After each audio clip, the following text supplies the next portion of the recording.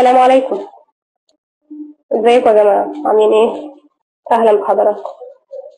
آه، إيه الأخبار؟ المحاضرات اللي فاتت معانا. في أي حاجة قابلناها في طريقنا وقفت معانا ولا أي حاجة؟ آه، إحنا هنستعرض إحنا أخدنا إيه لغاية دلوقتي وإن شاء الله إيه اللي هنكمله مع في محاضرة النهاردة. إحنا اللي خدناه خدنا برنامج الفوتوشوب آه، محاضرات. أظن يعني اللي ممكن تغطي الحاجة اللي إحنا هنستخدمها في البرمجية بتاعتنا. طبعا الفوتوشوب فيه حاجات أكتر بكتير من ال- الحاجات اللي إحنا خدناها أو المحاضرات اللي إحنا خدناها فيها. بس إن شاء الله هكون تطرقت لكل المواضيع اللي جوه الفوتوشوب ممكن تخدم البرمجيه التعليميه مرينا المحاضرة اللي فاتت برضو على بعض البرامج الملحقة اللي لازم هستعين بيها في البرمجية وكان منها برنامج الجاليندا 2005 أو أي إصدار جديد بعده. ده كان ميزته في إنه بيعمل فلاشات جاهزة سريعة. طبعا أنا ممكن أعمل الفلاشات دي بنفسي لو أنا محترف يعني. ممكن اصممها من ألف إلى الياء بطريقتي. لكن أنا مثلا مش متخصص وعايز أعمل حاجة تبهر أو حاجة تبقى شبه اللي موجود على النت.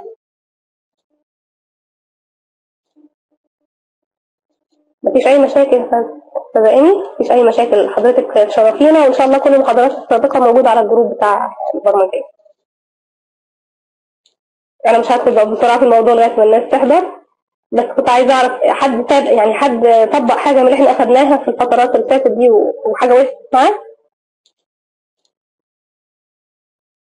ينفع يا فندم؟ طبعا. هو النهارده هناخد حاجة جديدة خالص مش هناخد فوتوشوب المحاضرات بتاعت فوتوشوب إن شاء الله تقدروا ترجعوا لها من خلال الجروب بتاع الرحلة. إن شاء الله الدعم الفني ينزل الرابط بتاعه. وعليكم السلام ورحمة الله وبركاته.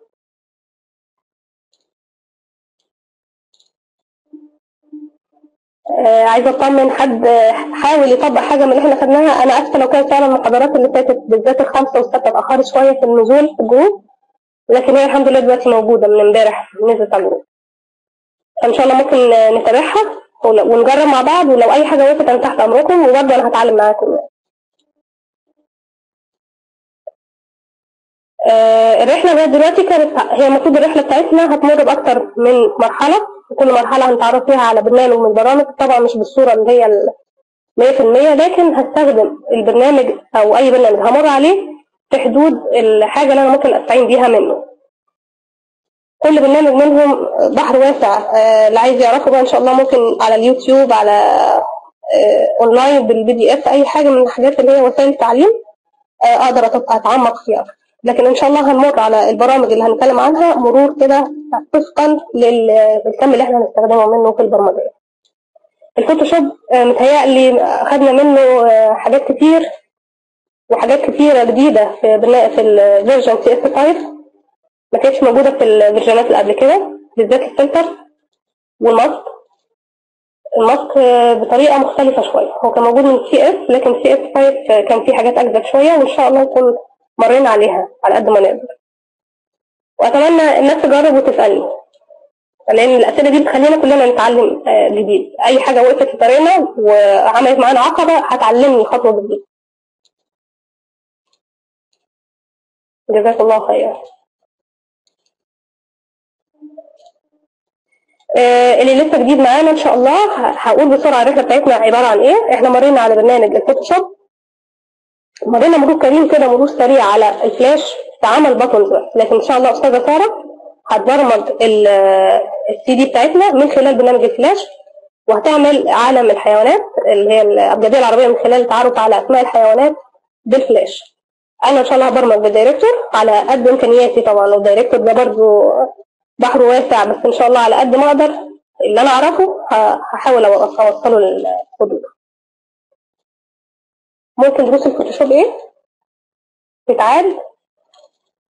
ما هي موجودة على الجروب.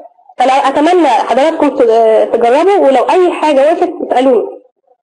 ممكن نعمل كل فترة أول نص ساعة كده أسئلة في الحاجات اللي فاتت. أنا كنت أتمنى والله أول ما أبدأ المحاضرة ألاقي حد بيقول لي في حاجة عملتها ومش عارف اكملها إزاي أو وقفت معايا. أحس إن في تفا- تفاعل كده.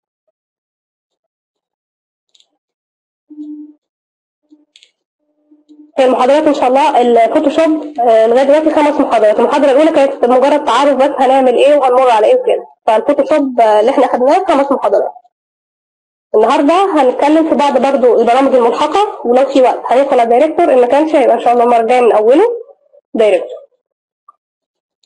كنا المرة اللي فاتت استخدمنا بعض البرامج الملحقة لعمل ال button أو عمل بعض التأثيرات banners أو آه، آه، أشكال معينة بالفوت بالفلاش.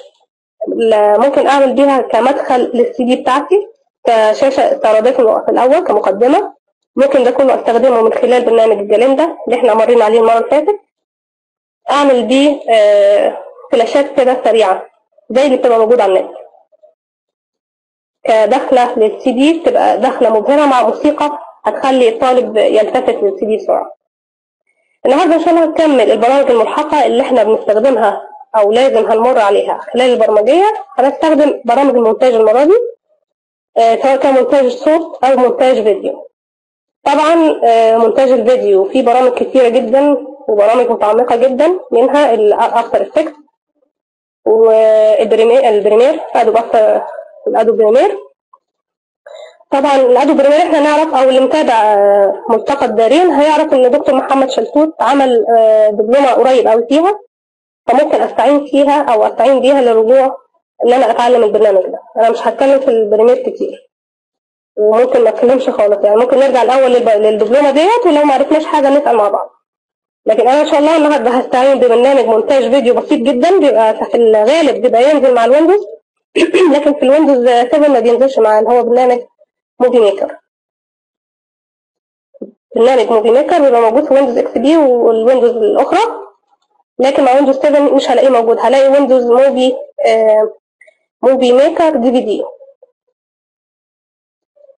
فأنا بسطبه من بره. إن شاء الله في برامج قلت هنزلها المرة اللي فاتت على ال group ولسه ما نزلتهاش هنزلها اللي هي ال Glanda و وال decompiler الاثنين دول استخدمناهم المرة اللي فاتت عشان نعمل buttons آه فلاشي حضرتك آه، أستاذة ايمي عندك 7 Windows 7 هنزل ال Premiere اللي إحنا آه، عفوا آه، ال Movie Maker اللي ب- بيتسطب على 7 هنزله إن شاء الله على ال group بإذن الله. ما كانش النهارده هيبقى بكرة. أنا بعتذر والله يا جماعة لأن فعلا أنا عندي دورة تدريبية الشغل وعندي course آه، فمعلش أنا وقتي ضيق والله.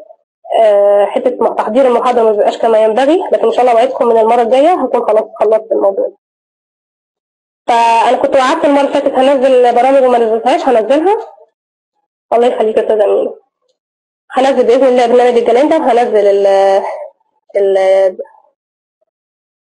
ال ال compiler وهنزل المرة دي إن شاء الله ال Movie Maker وال Sound Forge ال Movie Maker مونتاج فيديو بينزل مع ال Hotmail مش عارفة ما أقدرش افتي بصراحة. أنا عن نفسي سطبته لوحدي. طب معلومة جديدة أنا ما اعرفهاش خلاص. يبقى Movie Maker هنستخدمه النهارده إن شاء الله كمونتاج سريع للفيديو أو الصور. ممكن أعمل عن طريق صور زي الألبوم. يعني ممكن أجمع من خلال البرمجيه بتاعتنا مثلا مجموعة من صور الحيوانات المشتركة في صفه مثلا معينة وأعملها على هيئة آه، كليب صغير. ده ممكن أعمله بال Movie Maker ممكن فيديو. يعني ممكن أعمل مونتاج لفيديو أو أجمع صور كهيئة على هيئة ألبوم. واصدرها من ال Movie Maker وابعتها على انها لقطه فيديو صغيره ال extension اللي بتصدر فيه بيه ال Movie Maker بيبقى WMV عندي بقى لو هو لو البرمجيه بتاعتي هتقبله كما هو أهلا وسهلا. إن ما كانش عندي برامج بتحول ال extension بتاع الفيديو من وإلى. أنا بقول لفه سريعة وإن شاء الله هنمر على حاجة حاجة فما نقلقش معاها يبقى النهارده إن شاء الله عشان نعرف بسرعة مونتاج هنستخدم برامج المونتاج اللي بنستخدمها في البرمجيه عندنا منها ال Movie Maker وده في فيديو أو صور ثابتة. آه هنستخدم تمام الحمد لله. هنستخدم برنامج مونتاج صوت. في برامج مونتاج صوت كتيرة منها ال audio ال Adobe Audition وفي ال Sound Box بس أنا في شغلي بستخدم ال Sound Forge وإمكانياته بتخدم الحاجة اللي أنا عايزاها منها. لو أنا عايزة بقى أعمل مؤثرات صوتية وعايزة أعمل حاجات تانية كتير عندي بقى إيه البرامج الجديدة اللي هي Adobe Audition أو ال Sound Box لكن في خلال عملي أنا أو البرمجية البسيطة اللي هنست- هنستخدمها إن شاء الله وهننتجها في الآخر مش هحتاج أكتر من ال Sound Forge فلو أي حد عنده أي برنامج مونتاج صوت ممكن يستخدمه مش مشكلة. لكن أنا اللي هتطرق ليه النهارده إن شاء الله هو ال Sound Sound Forge يبقى مونتاج فيديو Movie Maker مونتاج صوت Sound Forge ولو في وقت إن شاء الله هنعرض ال movie السريع اللي إحنا عرضناه في أول محاضرة بتاع ال Director وهنعرف إزاي اشتغلناه النهارده. عشان بس نعرف إيه اللي ممكن ننتجه من خلال ال Director. وإن شاء الله المرة الجاية هنمسك جزء جزء في البرنامج هيبقى إن شاء الله النهارده نعرف إيه اللي هيتاخد هنعرض بسرعة إزاي امنتج فيديو أو امنتج أجمع لقطات لحيوانات مثلا مشتركة في صفة معينة وأخرجها على هيئه فيديو. أو إزاي عندي فيديو كبير عايز أخد منه جزء صغير. هو ده الهدف من المونتاج إن أنا أقص أحذف أعمل مؤثرات عليه. آه، فده اللي هنستخدمه في الفيديو الصوت هسجل صوت على ال Sound Forge هقطع الصوت لأجزاء صغيرة كل جزء هستخدمه في الوقت اللي أنا عايزاه جوه البرمجيه هنبتدي ممكن نبتدي بالمونتاج الصوت. أنا جمعت الأسامي الحيوانات اللي إحنا المفروض إن شاء الله هنس- هنسجلها.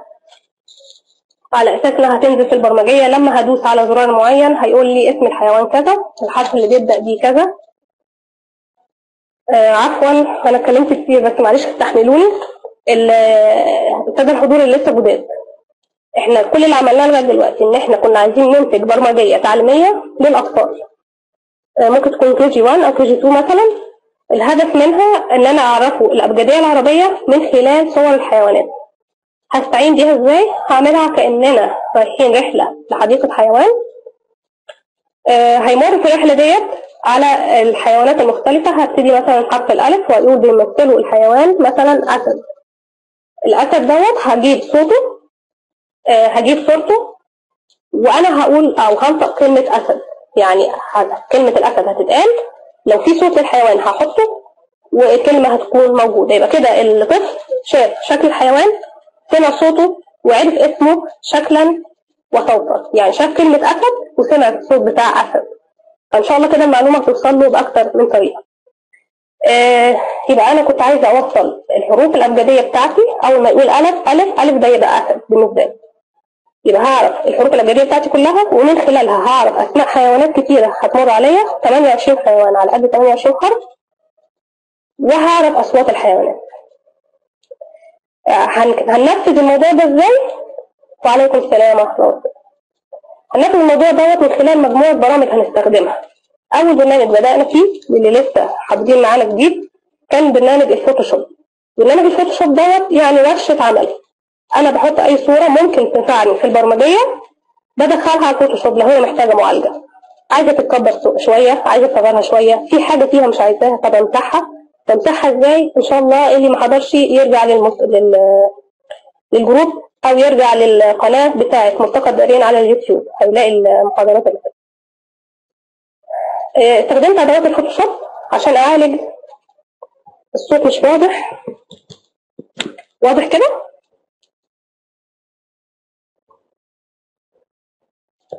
وعليكم السلام ورحمة الله وبركاته. الصوت كويس كده ولا؟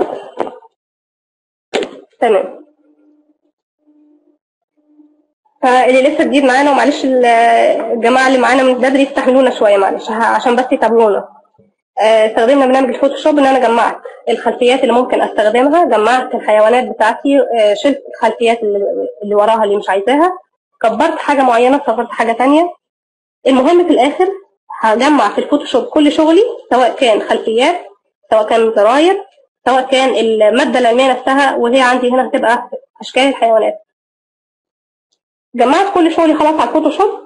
عملت الزراير بتاعتي على الفلاش أو على ال Photoshop زي ما عرفنا برضو المرة اللي فاتت وممكن أعملها آه على ال Director.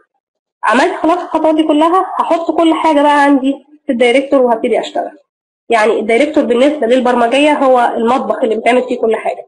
أنا جمعت المواد بتاعتي اللي هكون بيها الحاجة بتاعتي وهبتدي أحطهم على بعض جوه ال Director وهطلع منتج سي دي آه زي ما قلنا البرامج اللي هستفيد أو هستعين بيها استعنا خلاص المره اللي فاتت بال Photoshop والجالندا والفلاش. هنستخدم النهارده برامج المونتاج سواء كان صوت أو فيديو. هنبتدي برنامج الصوت. عندي برنامج ال Sound Forge أنا عندي النسخه سبعة في دلوقتي حاليا النسخه عشرة. إن شاء الله برضه هنزلها. طبعا المفروض دوت آه، الصوت ده هيروح لو أنا عندي مصنع أو عندي شركة بتنتج السيديهات التعليميه دي بيبقى في مكان استوديو معد للصوت. بيبقى الغرفة مبطنة. آه، اللي بيدخل يسجل جوه بيبقى حاسس إن في تنوير على ودانه من كتر الهدوء. أنا جربت الخطوة دي كانت آه، كانت تجربة حلوة الصراحة آه،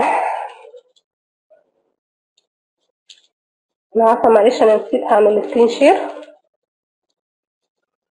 وهندخل على ال Sound Forge.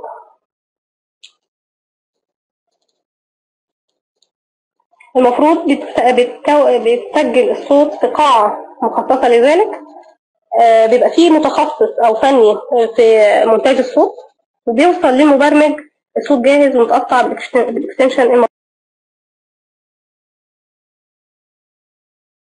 المطلوب إحنا في ال Director هعوز extension wave عشان جوه ال Director هحوله Shockwave إيه الهدف؟ ال Shockwave ان هو بيبقى خفيف جدا جوه ال Director فما بيبقى عندي البرمجيه حجمها خفيف مش كبير. لكن لو رفعته زي ما هو wave على ال Director بيبقى حجم ضخم جدا. إن شاء الله لما هنوصل لمحطة ال Director في الرحلة هنتكلم على إيه اللي المفروض يكون حجمه آه، في ال movie بتاع ال Director. أنا فتحت برنامج ال Sound Forge أهو. بفتح ملف جديد. ما نخافش من منظر هو منظره هو سهل جدا وأي حد ممكن مع نفسه يحاول يتعلم. لكن أنا برضو مش هشرح كل حاجة فيه هشرح الجزء اللي هستخدمه داخل البرمجية بتاعتي. المفروض اللي هيسجل صوت البرمجية هيروح للاستوديو بتاع الصوت وهم هيسجلوا عن طريق برنامج Sound Forge أو ايا كان. إحنا في شغلنا بنستخدم Sound Forge عملت ملف جديد. هسجل بقى. أنا هسجل عينة دلوقتي وهنجرب إزاي نقصها وإزاي نمنتجها. عندي هنا زرار بتاع الصوت أو record كل دي برامج تحكم أو زراير تحكم في الصوت اللي هيتعرض عليا. مش هستخدم كل حاجة ومش هتطرق لكل حاجة لكن هقول إيه الخطوات اللي إحنا بنستخدمها في الصوت. أول حاجة هقول record هيطلع لي النافذة ديت عايزه إيه؟ آه أنا عن نفسي ما بلعبش بأي حاجة خالص غير إن أنا بقول له أنت يقول لي أنت متأكد مثلا عايز تسجل؟ هقول له okay سجل. طبعا هراعي ان القاعة أو اللي هسجل فيها طبعا تكون صماء تماما زي ما اتفقنا بيبقى استوديو مخصص لذلك. بيدوس ريكورد أنا كده بدأت أسجل. المفروض أنا طبعا هحذف ده كله عشان نعرف إزاي نشيل من المونتاج. المفروض إن هو هيبتدي يسجل هيقول حاجة بهدوء واحدة واحدة هو هيحافظ على مخارج الألفاظ والحروف ويقول كل حرف ب- بإتقان عشان دول أطفال فلازم يتعلموا الحروف صح. أنا دلوقتي بسجل. ألف أسد ب بقرة بجعة بومة. ت تاء باء تاء تمساح. ثور جيم جرو جاموس ح حمار وحشي حوت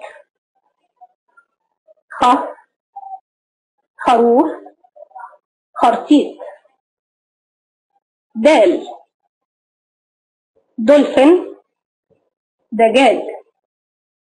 دجاجة. ذال. ذئب. راء. رنة. رنا رنجة. زين زرافة سين. سلحفاة. سلحفاة.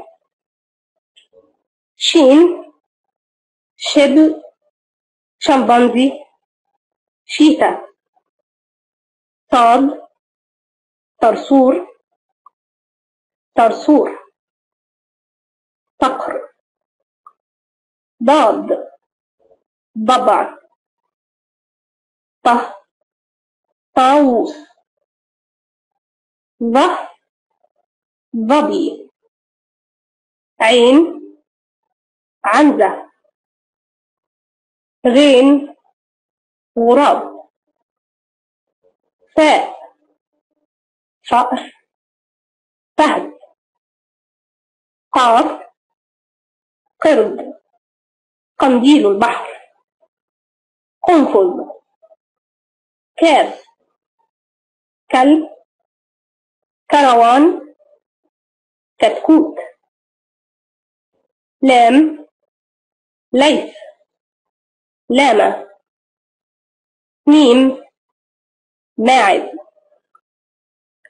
نون نسناس نعجة. نحلة. نملة. هاء. هدهد هرة. واو. وطواط ياء. يمامة. بعد ما بخلص بقول له ستوب و close هرجع للمحاضرة وبعدين نرجع للصوت تاني.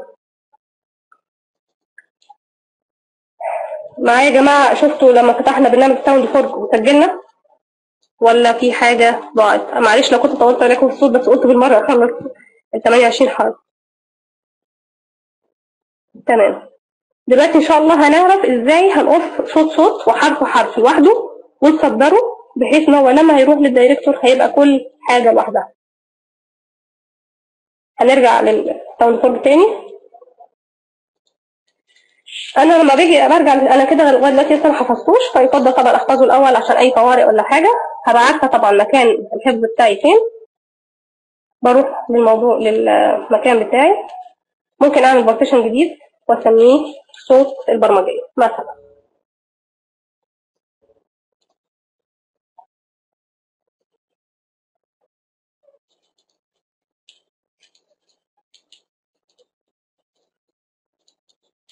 هسميه ساوند 1 مؤقتا لغاية ما اسمي جزء فيه آه برضو زي ما اتفقنا الموفيهات هيبقى لها اسم مشترك. كل اللي هيشتغل معايا في البرمجية هيبقى عارف. آه ال movie الأولاني اسمه كذا. والصوت الاولاني هيبقى فيه اسمه كذا وهكذا. آه إحنا كنا اتفقنا في الصور سميناها ABC 1 2 3 وهكذا. ممكن كنا نسميها في الصور ABC ممكن اللي هي الجرافيك يبقى G 1 هنا في الصوت هنسميها اي بي سي اس 1 اي بي سي لأنها ترمز للأبجدية و S sound 1 2 3 وهكذا. الصور اللي هتوصل لل Director برضه هنخليها ABC G على أساس انها جرافيك 1 وما إلى ما لا نهاية لغاية ما نخلص. يبقى لازم كل اللي هيشتغل في الشغل يبقى عارف إن الاسم ده ده بيرمز لكذا والاسم الثاني بيرمز لكذا. هنسمع الصوت مع بعض؟ أنا معرفش هيبقى واضح ولا لأ.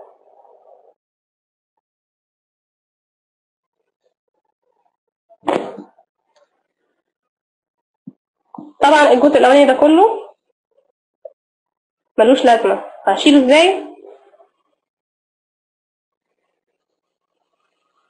طبعا اللي بيسمع صوت يسمعه كذا مرة. الجزء الأولاني ده كله أنا مش عايزاه هقصه من أول هنا.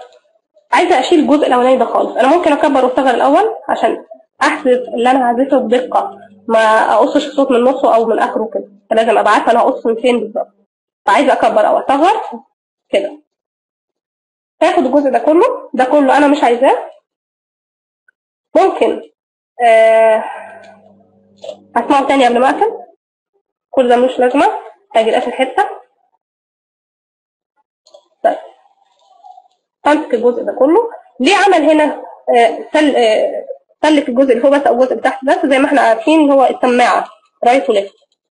فهنا هيسمع من ناحية واحدة بس من يمين أو شمال بس وهكذا. فأنا بحدد الاثنين وأقول له delete أنا كده شلت الصوت اللي أنا مش عايزاه. هسمع تاني واحدة واحدة. الذبذبة دي ممكن لو قصيرة إزاي بطولها والكلام دوت ممكن أحدد كله control A بس أنا قبلها هعمل نسخة. ماشي؟ عايزه أعمل نسخة منه إزاي؟ بدوس Alt وأسحب لبره. مجرد ما دوست Alt وسحبت لبره عمل لي نسخة منه تاني. ممكن أعملها احتياطي لأن أنا ممكن أقص بعد كده ما ينفعش أرجع لل source الأصلي بتاعي. فبعمل نسخة احتياطي الأول وبعد كده اقص في واحدة منهم.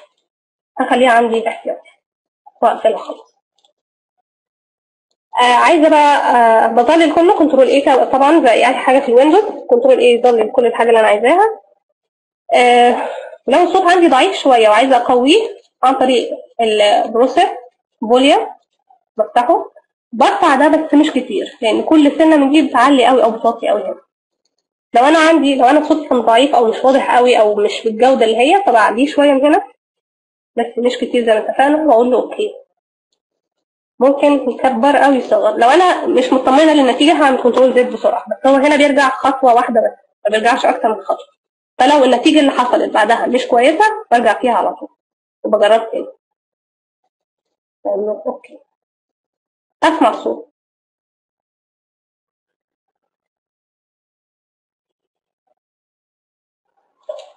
حسيت إن هو كويس خلاص مثلا؟ هاخد واحد واحد بقى. أنا خلاص عرفت إن دوت ألف. بعمل بحدده لوحده وبعدين بقول الت واسحب لبره وبسمعه تاني برضو قبل ما احفظ أنا عندي هنا مسافات كتيرة فاضية. ممكن هتأثر على الصوت لما يبتدي يعني ممكن يفضل فاضي فترة وأنا مش عايزة الفترة الفاضية اللي في الأول دي فبتخلص. يفضل الجزء اللي أنا حطاه في البرمجية يكون على قد الصوت بالظبط. وأسمعه تاني. خلاص كده كويس. هقول له control S بيقول لي هسميه إيه؟ زي ما اتفقنا. إحنا قلنا هنخلي ال extension بتاعه wave عادي. هنحوله جوه ال Director Shockwave هسميه ABC S 1 عفوا. زي ما هنتفق زي ما فريق العمل هيتفقوا مع بعض capital small المهم يبقى الحروف زي ما هي ABC S 1 من غير مسافه أقول له save أنا كده حفظته خلاص في الملف بتاع آه صوت البرمجيه هرجع لغرفه تاني. ماشي الموضوع لغاية دلوقتي يا جماعة. هو Sound Forge بسيط جدا وسهل.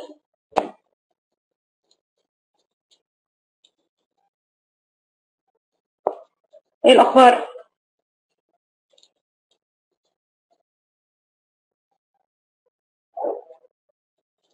أي ملحوظة أي حاجة متابعين معايا أكمل.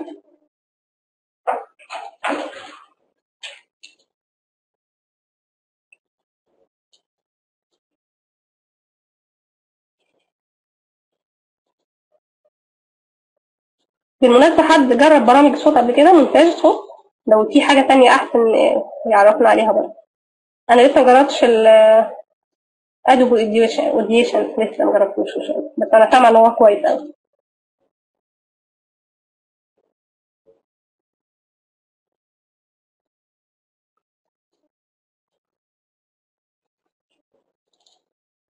آه إن شاء الله. بإذن الله إن شاء الله النهارده لو في وقت هنزل Sound Forge ما كانش هنزله بكرة بإذن الله. آه طبعا. وممكن على فكرة إحنا طبعا زي ما اتفقنا دي بيبقى شركة يا أي مكان يعني لإنتاج البرمجيه هيروح له مثلا الصوت الفلاني مش واضح قوي الصوت الفلاني فيه غلطة في النحو النحو أو في الاملاء في النطق. يعني يا نحو يا نطق. فممكن يرجع الصوت ويتعاد مرة واثنين وثلاثة ما اتأكد إن هو كويس. أنا النهارده حتى لو الصوت مش حلو قوي أنا ممكن اعيد تاني. أنا بس قلت بالمرة أخلص تسجيل البرمجيه عشان ما أضمنش الصوت مش واضح. كده كويس؟ كده الصوت كويس يا جماعة؟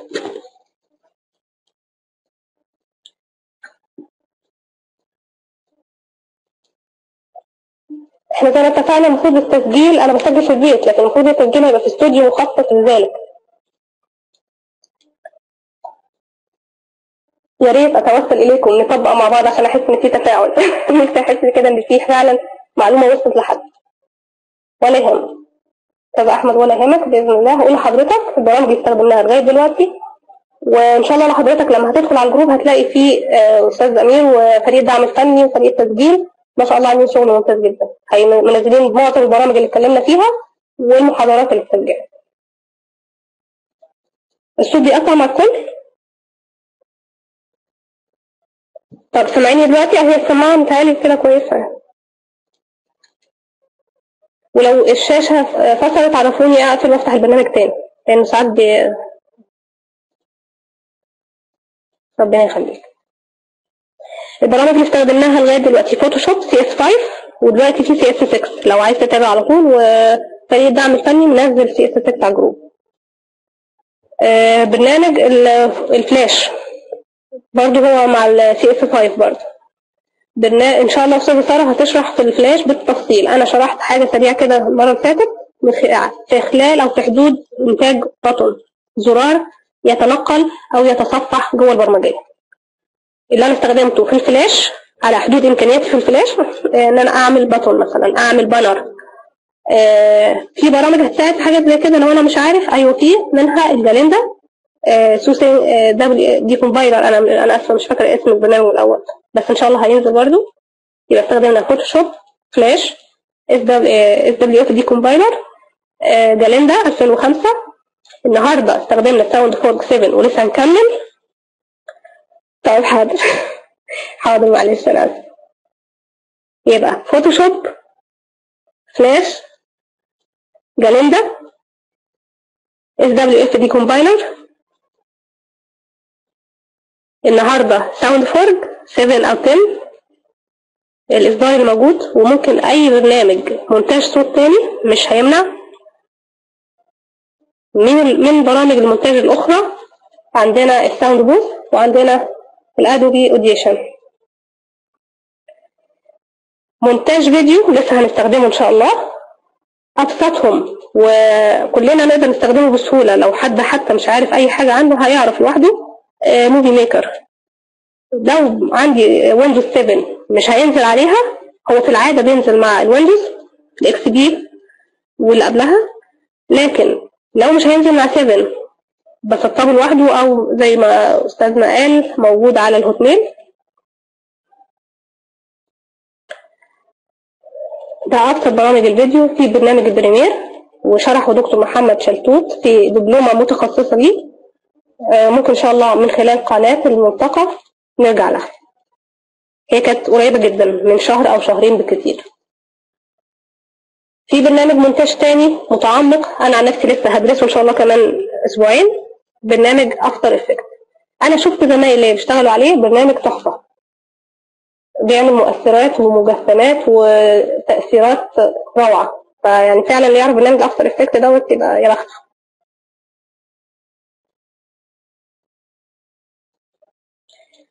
دي المحاضرة السابعة. المحاضرة الأولى كانت استعراض سريع فتعتبر دي المحاضرة السادسة خمس محاضرات أخذناهم في الفوتوشوب. المحاضرة الأخيرة كانت جولة سريعة في الفوتوشوب. الباقي فيه فلتر والجالندا لعمل بطن والفلاش برضو لعمل بطن. اللي ما حضرش معانا قبل كده إحنا كنا زي ما مكتوب في الشاشة بتاعتنا المحاضر مهندسة سارة أحمد وأنا. أستاذة سارة كانت ظروفها مش مش سامحة في الأول فهي إن شاء الله قلنا هنفصل بس في الآخر هننتج سي دي واحدة. هي هتنتجها باللغة الإنجليزية وأنا هنتجها باللغة العربية. وهنعمل زرار داخل البرمجية هينتقل بين اللغتين. هي إن شاء الله هتبرمج من خلال الفلاش وأنا هبرمج من خلال ال Director هيطلع منتج في النهاية إن شاء الله يفيد آه، أطفال الكي جي 1 وكي جي 2 آه، هيعلمهم الأبجدية العربية أو ال ABC من خلال أسماء الحيوانات وأصواتها. آه، اللي لسه حاضر دلوقتي من أول محاضرة يعني أنا استخدمت برنامج ال Sound Forge عشان أسجل صوت دي خطوة أولى وأمنتجه بعد كده. أشيل جزء آه، أفصل كلمة عن التانية أوضح كلمة معينة وهصدرها ب extension معين. ممكن أصدرها دبليو wave أو MP3 أو في حاجة اسمها AIF كانت بتستخدم كمان في ال Director بس بقينا بنستخدم ال wave وبنحولها جوه ال Director ل Shockwave إن شاء الله لما هنوصل للمرحلة دي في الرحلة هنشوف الفرق في الحجم بين ال wave وال Shockwave آه الامتداد Shockwave مش هينفع يتشاف غير جوه ال Director بس. لو حاولت أفتح صوت بره مش هعرف أسمعه. لازم من خلال برنامج ال Director أسمع للصوت. فلازم اكون محتفظة بال source بتاعي ال wave. اي مثلا آه تعديل في الصوت مش هينفع على ال Shockwave لازم أروح لل wave بتاعه الأول اسمعه أو اقص منه أو اسجله تاني وبعدين من جوه ال Director احوله ل Shockwave ال Shockwave جوه ال Director زيه زي ال raster جوه ال Photoshop. يعني حتة إيه؟ ان خلاص صعب ان انت تعدل فيه وهتغير بقى في مواصفاته الشخصية. فمش هينفع لا يصلح تعديل في wave التعديل هيكون من خلال ال wave هرجع لل Sound Forge تاني. هعمل كام مثال وبعدين نروح لل Movie Maker إحنا دلوقتي قصينا حرف الألف. هسيب ال source عندي احتياطي زي ما هو مش هاجي جنبه. عشان لو حبيت أرجع له في أي وقت. طب أفترض أنا عندي مثلا دي برمجية خفيفة وخلصت الصوت بتاع- بتاعها بسرعة. آه، افرض أنا عندي مثلا برمجية علمية بتاعت ثانوية عامة. ممكن تقعد معايا ثلاث ساعات مثلا. طبعا مش هقصها كلها في مرة واحدة. طيب هعرف منين أنا واقف فين؟ وكل الصوت شبه بعضه هنا. في حاجة عندي اسمها ماركر. الماركر بعرف أجيبه. بعمله إزاي؟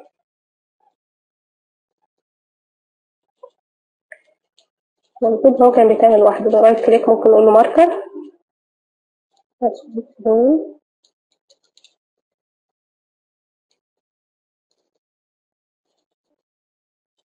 Insert marker.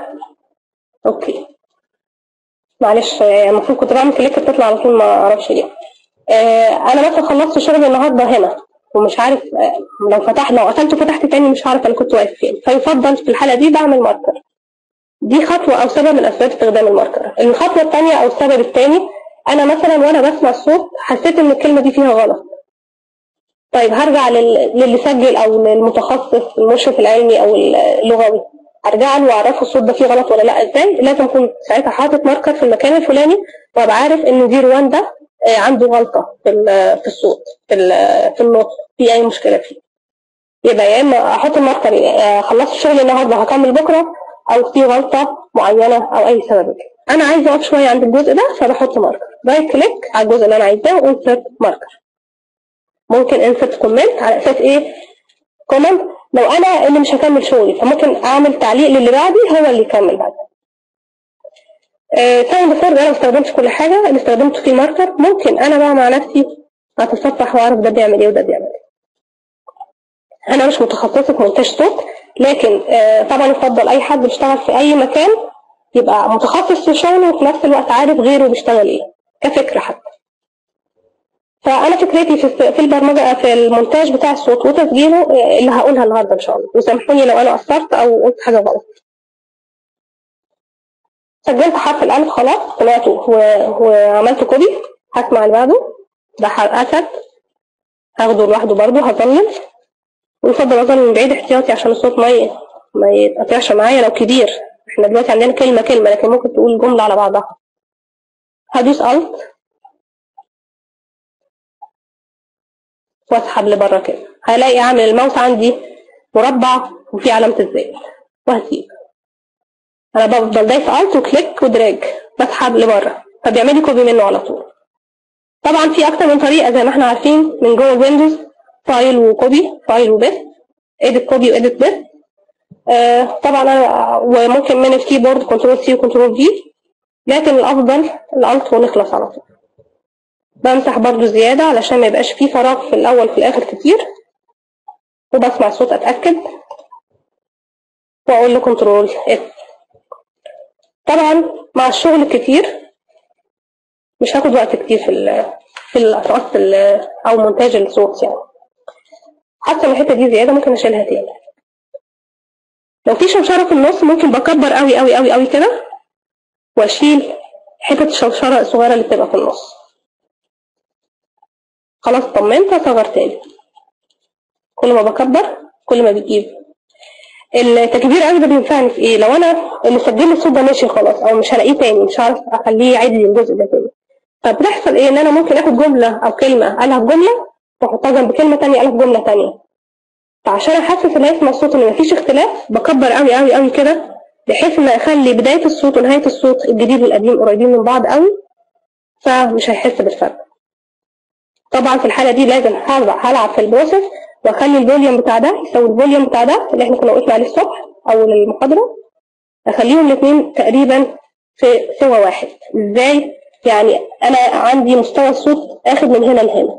ما أجيش أخلي المستوى اللي بعده الصغير ده كده. لازم يبقوا الاثنين أخدين نفس علو الصوت بحيث ما ما يحصلش عندي drop وأنا بسمع الصوت. إحنا قلنا Control S خلاص. هرجع للمحاضرة.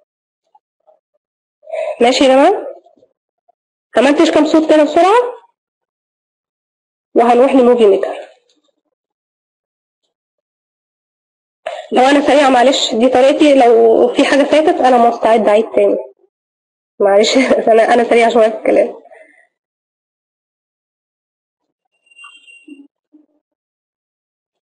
إيه الأخبار؟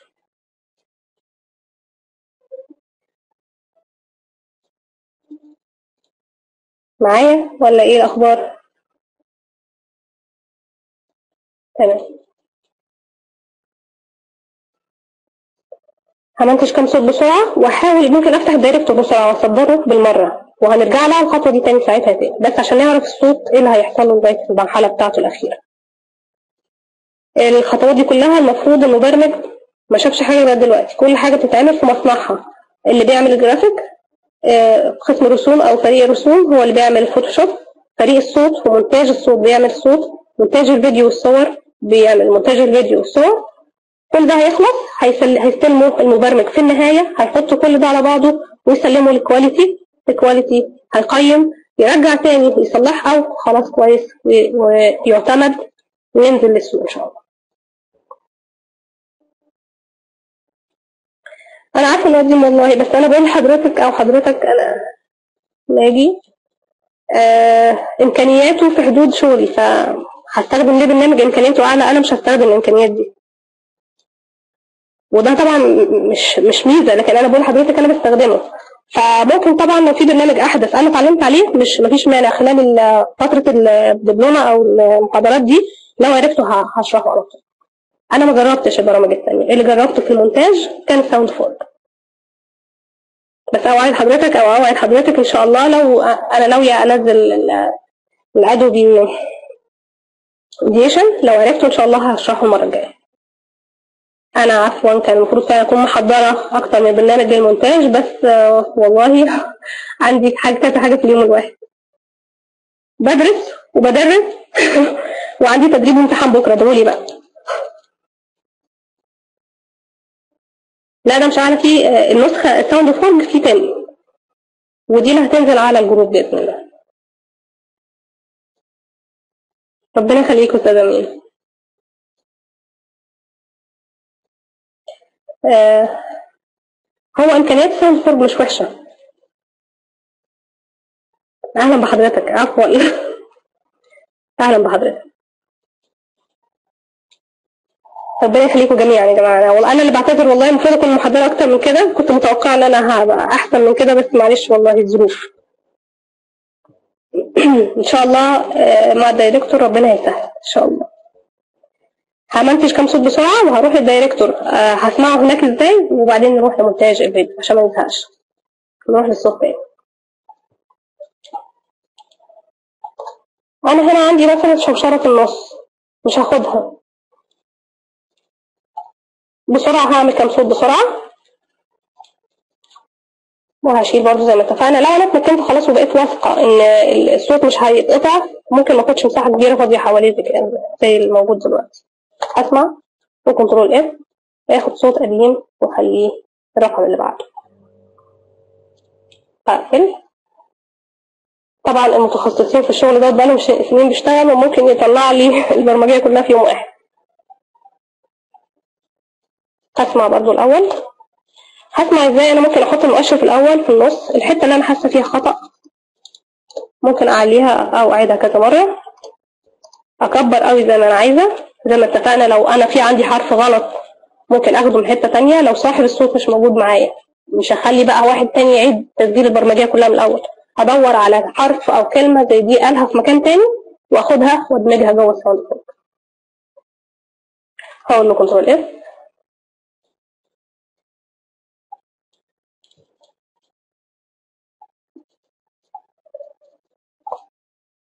Alt وبسحب وأرمي بره delete بشيل جزء بحدد واشيل الجزء اللي مش عايزاه أسمع و Control F 5 هخلي الامتداد wave مش هغير في ال wave أنا ممكن أفتح هنا وأشوف الامتدادات اللي عندي إيه حسب اللي بيطلب مني في ال storyboard السيناريو. إحنا كشغل بنستخدم ال wave كنا زمان بنستخدم ال AIF مش عارفة أصلا دلوقتي بقى موجود ولا لأ. ما بقاش موجود. دلوقتي بقينا بنستخدم ال wave هنحول Shockwave عشان يبقى حجمه قليل. هسيبه زي ما هو وأقول له save.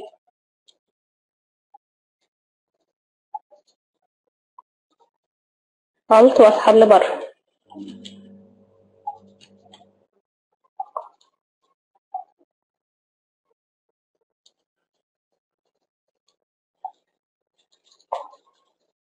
وهكذا.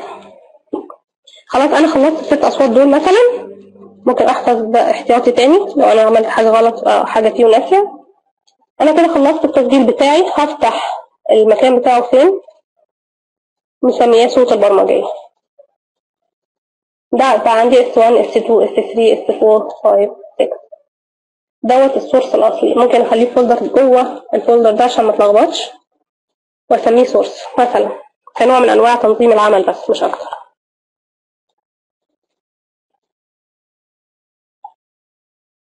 كي ديت مش عايزاها. هي بتطلع ما أعرفش ممكن اتخلص منها إزاي بصراحة. مش هو مش ه... مش هفتي دوت اللي أنا عايزاه. ممكن افتح بقى برنامج Director بسرعة وما تقلقوش لسه منه للي أول مرة يشوفه. عايزه أجيب الرحلة.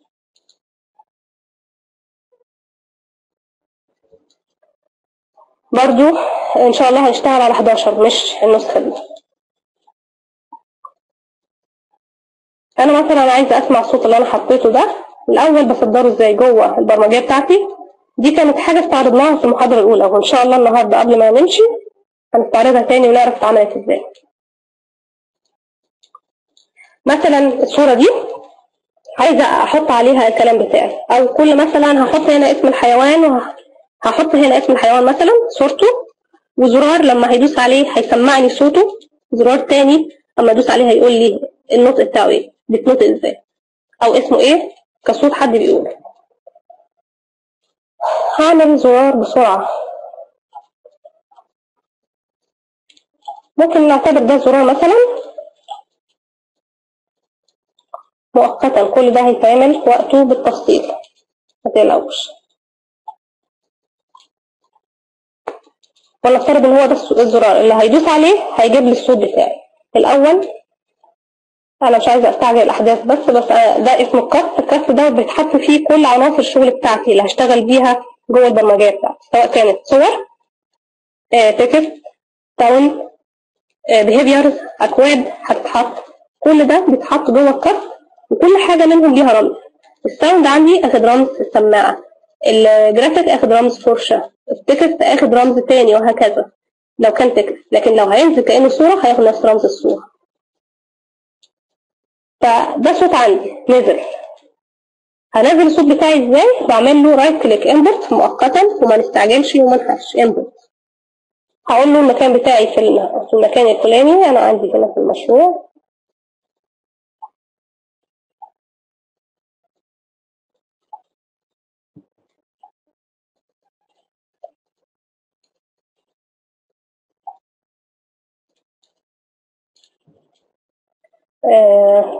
صوت البرمجية. هاخد من هنا لغاية أنا في ال import دي وبرضه هعيدها في وقتها تاني. أقصى حاجة ممكن أخدها في مرة واحدة 40 صوت. أكتر من 40 هيقفل البرنامج يطلع لي error فلو أنا هحمل صوت أو هرفع صوت جوه ال Director هعمل له 40 أنا دلوقتي كده أخدته wave زي ما هو. لو جيت أشوف مساحة الملف هلاقيها ضخمة جدا. بس هيتقري جوه ال wave جوه ال Director عايز اسمعه؟ بعمل double click عليه وأعمل play من هنا. بس زي ما اتفقنا إن حجم ال wave حجمه ضخم جدا فأنا مش هحطه بالطريقة دي. هحطه إزاي؟ باجي على قائمة extra ومؤقتا ما تستعجلوش وما تخافوش برضه بحاول convert wave to Shockwave select new folder ده المكان اللي هيتحول لي عليه الصوت الجديد اللي هيبقى Shockwave هقول له خليه جوه المشروع.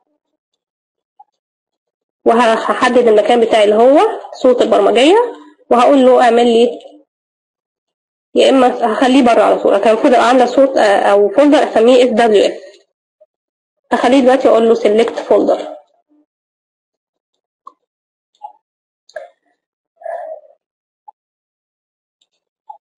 أهو من هنا هاجي عند صوت البرمجية وهعمل folder جديد وهسميه اس دبليو اس اس دبليو اي هو Shockwave خلاص هرجع لل Director تاني.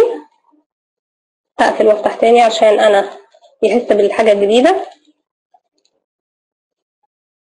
من اكسترا كونفرت ويف تو شوك ويف بحدد له المكان اللي هيتحط عليه الحاجة. فبقول له هنا في ال Shockwave جوه المشروع.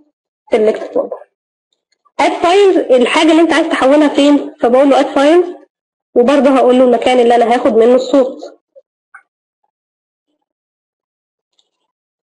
وأحدد له. ممكن احددهم كلهم مرة واحدة وممكن أحدد واحدة واحدة. فاحددهم كده. برضو آه، أقصى حاجة 20 تقريبا. 20 يا 40 أقصى حاجة في المرة الواحدة. أقول له open بينزل لي الحاجة اللي أنا هحولها. قال لي الأصوات اللي أنت هتحولها دي ودي ودي. ركبت خلاص؟ هقول له convert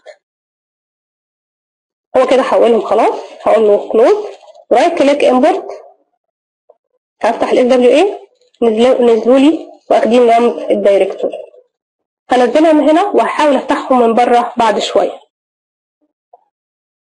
نزلوا لي بالرمز ده بالشكل ده. دلوقتي أقدر اسمعهم من هنا مفيش مشاكل.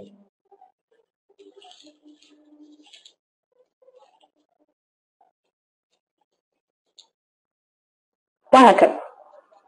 طيب أحاول اسمعهم من بره. بقى هيفتح لي ملف دايركتور ومش هيقراها إلا بالطريقة اللي إحنا شفناها قبل كده. مش هينفع يقراها. يبقى ال Shockwave ده. اولا هنشوف حجمه قد إيه. right click ونشوف حجمه. واحد كيلو بايت. واحد وسبعة من عشرة أو واحد تمانية من عشرة. طيب نشوف حجم الصوت التاني. ال wave. أربعة وستين كيلو بايت شفتوا الفرق قد إيه في الصوت في الحجم؟ كل صوت بقى لو عمل كده هيفرق معايا في حجم البرمجية في الآخر فرق كبير جدا. فيبقى ال Shockwave منه نوع من أنواع الأمان إن أنا ما أقدرش أسمعه إلا من جوه البرنامج نفسه وفي نفس الوقت بيبقى حجمه قليل جدا. طيب أنا لغاية دلوقتي حطيته جوه ال cast وما سمعتوش برضه. معلش للي ما يعرفش ال Director خالص قبل كده. معلش استحملوني النهارده؟ أنا بس هعمل جولة بسرعة. كل ده هيتعاد بالتفصيل تاني. هروح لل stage هقف هنا على الكرسي ده وهقول له اعمل لي behavior جديد وسميه لي sound وأقول له okay. ال behavior دوت خلي لي فيه الماوس اب والماوس انتر والماوس ليف الماوس انتر هقول له خلي لي ال cursor change cursor وادوس على ال finger أقول له okay وهنا هقول له cursor مهلا ما تخافوش restore في ال mouse up هقول له استخدم لي الصوت play cast member يقول لي عايز أنهي صوت فيهم هقول له ده مثلا. okay ما نستعجلش أنا بس هعرفكم بس شكل البرمجية. أو هيحصل إيه في البرمجيه عشان إحنا عمالين نتكلم وما شفناش حاجة على ال Director وبرده موضوع الفلاش والشوشرة اللي حواليه ده ده كل ده مؤقت. أنا لما هعمل play كده أنا مش عايزة play من هنا عايزة من هنا هعمل هنا stop عشان يفضل واقف لي.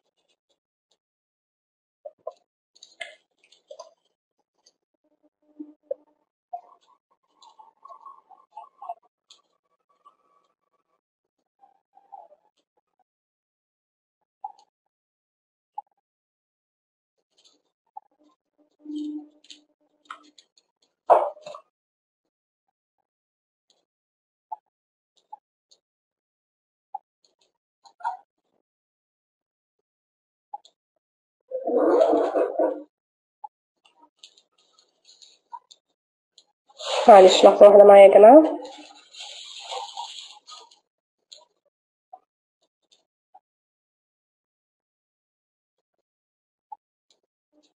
اختفت طيب أنا ممكن أعمل شكل تاني مش لازم الاف ده. ممكن أرسم مثلا دايرة.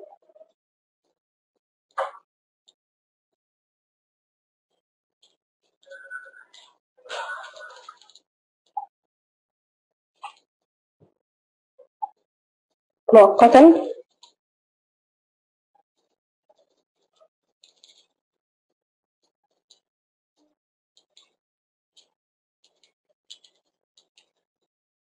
وهرمي عليها الكود ده. ساوند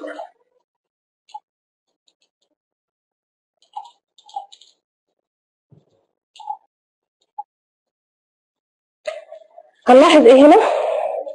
ان أنا لما جيت على الدايرة دي اتغير شكل الماوس من من سهم لفينجر. يعني بيقول له إن هنا في حاجة أو في زرار. طبعا الزرار مش هيبقى بالشكل ده. إن شاء الله لسه ساعتها هن- هنبعت الزراير المتخصص الم- الخاصة بالبرمجة. ده بس شرح سريع الصوت هسمعه إزاي لما أقول له يبقى أنا عايزة أعرف اسم الحرف إيه عايزة أسمعه بيبقى اسم الحرف موجود قدامي وبدوس على الزرار بيسمعه طيب ممكن أنا بقى أعمل إيه؟ تتابع للصوت نفسه. ممكن أغير الصوت من هنا دلوقتي. أخلي ال sound بتاعي اللي بعده مثلا. okay. أما هعمل play كل ما يدوس عليه كل ما يسمعه تاني. هروح للغرفة تاني معلش أنا طولت المرة دي. إيه الأخبار؟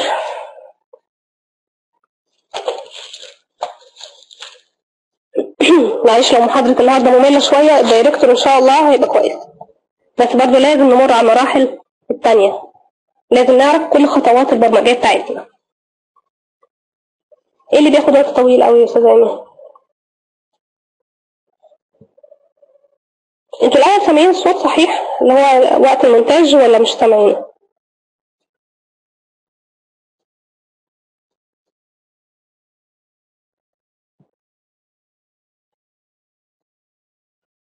مش سامعين؟ مش سامعين الصوت جوه sound card ولا مش سامعين الصوت خالص؟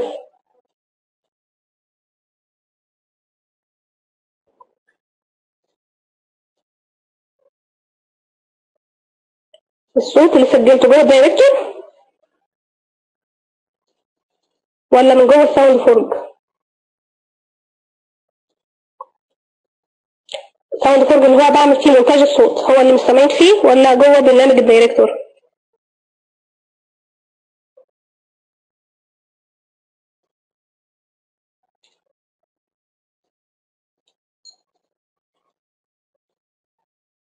ألو.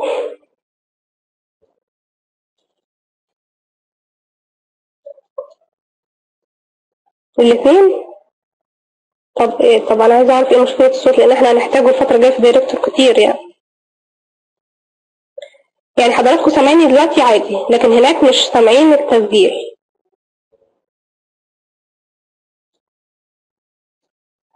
آه أنا آه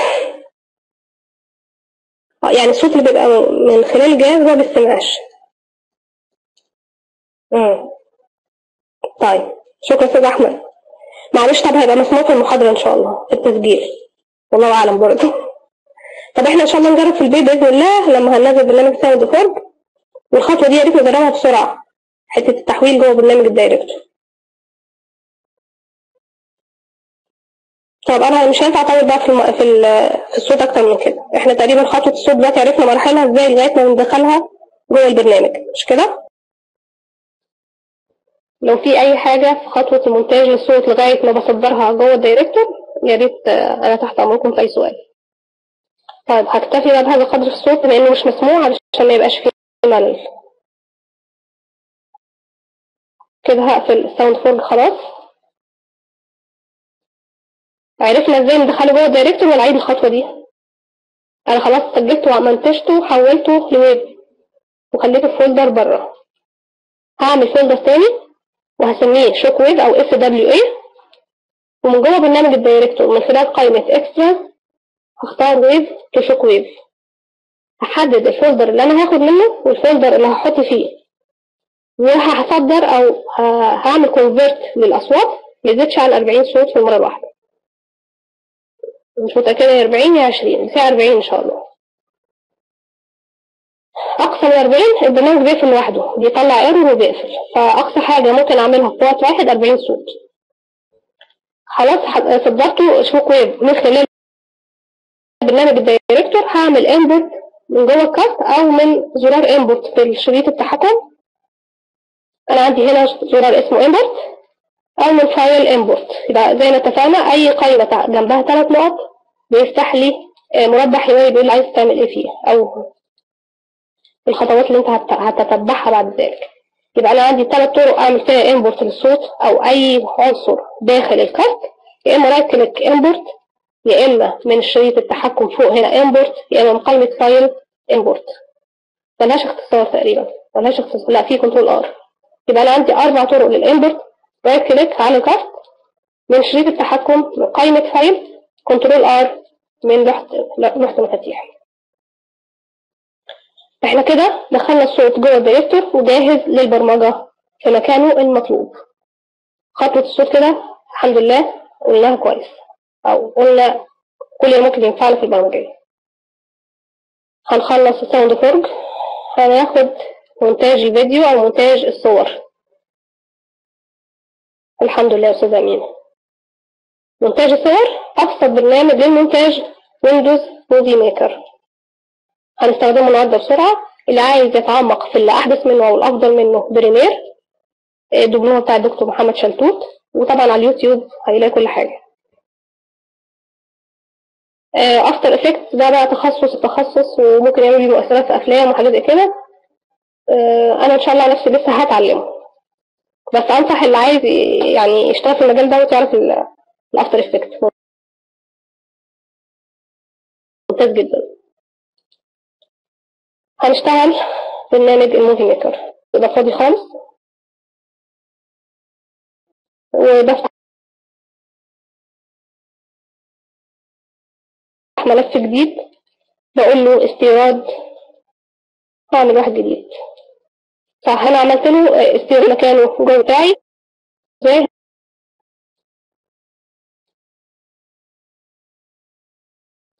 عايزة أرجع للفيديو نفسه. اهو هذا فيديو استيراد صور أو موسيقى. أنت ممكن تعمل يعني movie clip كده لوحدك. يعني ممكن تحط صور آه، ثابتة ورا بعض وتعمل تأثيرات بينها وتنزل معاها أغنية أو موسيقى كخلفية ممكن تنزل شرح بالصوت واحد بيسجل. هنا في record أهو. ممكن واحد بيشرح مع التأثيرات الصوتية وفي الآخر بيعرض نقطة الفيديو قبل ما يصدرها. يبقى الخطوة الأولى بقول له استيراد فيديو هينزل الفيديو في المكان ده. أنا اخترت الم- الموفي ده مثلا وقلت له استيراد. هو حسب طول ال- الفيديو اللي أنا همنتجه أو اللي أنا هعمل عليه مؤثرات ولا أي حاجة بياخد الوقت بتاعه. لغايه ما بيخلص وبينزله لي في المساحه دي.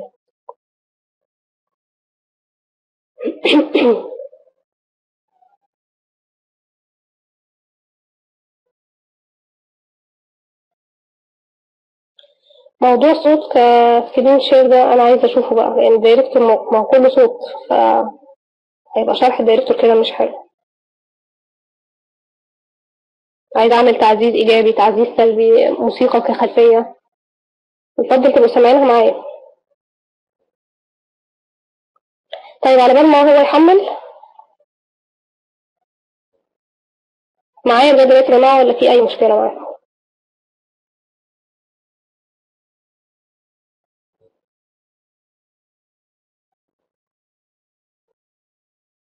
لو في أي سؤال أو أي معلومة حد ممكن يعني هو عارفها أنا مش عارفاها يا ريت إحنا بنتبادل معلومات لو في حاجة أفضل آه أنا ما أعرفهاش مثلا ممكن اجربها في شغلي أطلع بحاجة برضه من المحاضرات دي. الله يخليك أستاذ أحمد واستاذه أمينة. إن شاء الله ال After Effects أما أعرفه من خلال الجروب هيبقى فيه تفاعل برضه إن شاء الله تعالى. بس هو نصيحة إن شاء الله مني للي هيشتغل إن شاء الله في المجال دوت يكون عنده فكرة عن كل البرامج اللي ممكن يستخدمها. يفضل.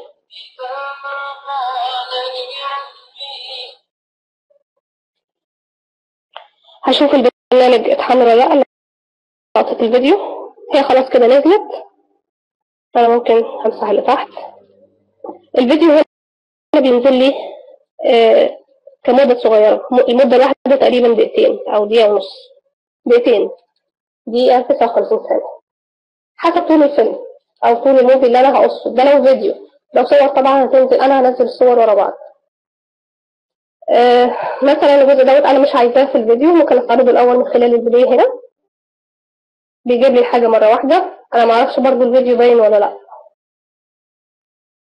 الفيديو كصور باين ولا شاشة سوداء؟ أتمنى يكون باين.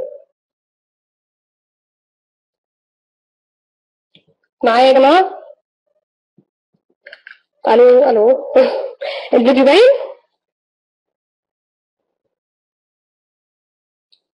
أنا دلوقتي شاشة سوداء بس كان قبل كده. يعني مثلا أنا الجزء ده كله مش عايزاه. فممكن خلال Movie Maker الجزء الأولاني دوت أستعيد عنه أشيله. لو أنا عايزة جزء بس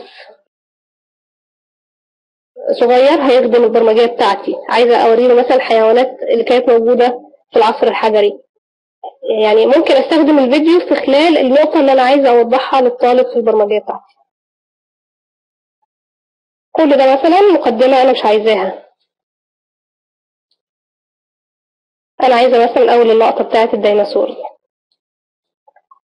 هو بيوضح لي هنا أنت هتستخدم من أنهي حتة. فأنا مثلا هقول له طيب هوقف أنا شايف إن الجزء دوت مثلا هيناسب معايا في الجزء اللي أنا هشرحه في البرمجية. هنزله. على اللي بعده مثلا ينفعني ينفعني ما ينفعنيش مش هاخده وهكذا. اخد أجزاء أجزاء من اللي أنا عايزاها. وطبعا آه، بيبقى في معايير لازم بتبعها ان الفيديو مثلا ما يزيدش على 2 ميجا علشان تحميل البرمجية أو السي دي ما ياخدش وقت وأنا بشغلها. فيفضل أنا أعمل فيديوهات كتير كل فيديو حجمه صغير أحسن ما أعمل فيديو كبير مرة واحدة. بيبقى في معايير بنتبعها ما يزيدش الفيديو على 2 ميجا ال movie نفسه كله ما يزيدش على 2 ميجا. لو الفيديو كبير قوي ممكن اعمل له link من بره يعني اخلي الفيديو بره واستدعيه جوه ال Director ما يبقاش جوه ال movie نفسه. إن شاء الله جوه ال Director هنتكلم في الحاجات دي بالتفصيل. أنا بس هقول إزاي نمنتج. أنا مثلا مش عايزة كل الفيديو عايزة لقطات صغيرة منه. وطبعا لازم أراعي إن بداية اللقطة ونهاية اللقطة اللي قبلها يكونوا منسجمين مع بعض. لو مش منسجمين مع بعض هعمل تأثيرات بينهم بحيث إن أنا الصورة دي تخلص وتعمل لها fade واللي بعديها تخلص تبتدي تعمل لها fade in واحدة يبقى fade out واحدة fade in يعني تختفي ببطء والتانية تظهر ببطء بحيث إن يبقى فيه إيه؟ آه، نوع من أنواع الحركة وال animation كده لو اللقطتين مش مش راكبين على بعض فممكن آه، أخبي العيب دوت بالطريقة دي. طيب أنا نزلت خلاص اللقطات اللي أنا عايزاها واكتفيت. فهقول له اعمل لي تأثيرات. بقى حوالين الفيديو. أو الانتقال بين الفيديو والآخر. التأثيرات دي بتبقى جوه الفيديو نفسه. لكن الانتقال اللي هو الجزء اللي بين لقطات الفيديو. أنا ممكن أقول له انهي لي الجزء الأولاني من الفيديو وابتدي لي الثاني بالشكل ده. يبقى واحد يخلص والثاني يبدأ. أو خليه بالشكل ده. طيب أنا كده شايفة يا دوب أول frame أول frame أول frame. ممكن قبل ما أصدر الفيديو أستعرضه كده التأثير التاني ما بانش قوي فممكن أشيله واحط غيره أجرب حاجة تانية لغاية ما ألاقي تأثير واضح. لو دي بطيئة قوي فممكن أعمل لها إيه؟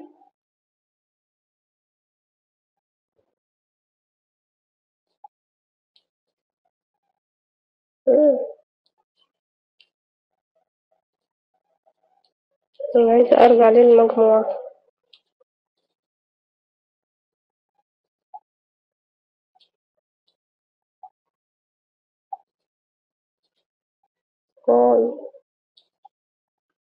دي المجموعات اللي أنا كنت شغالة عليها بس محطش الأخير. المفروض إن دي الحاجات الأخيرة اللي أنا اشتغلتها جوه الموفي ميكر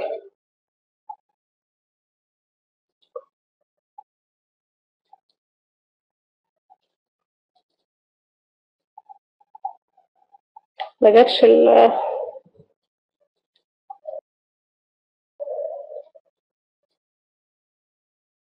هنا طيب.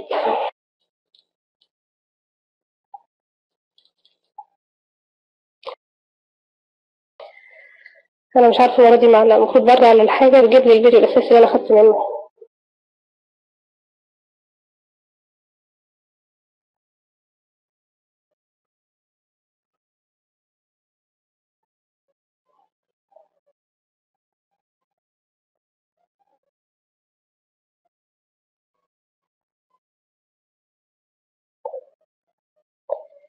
أخلص بس ده.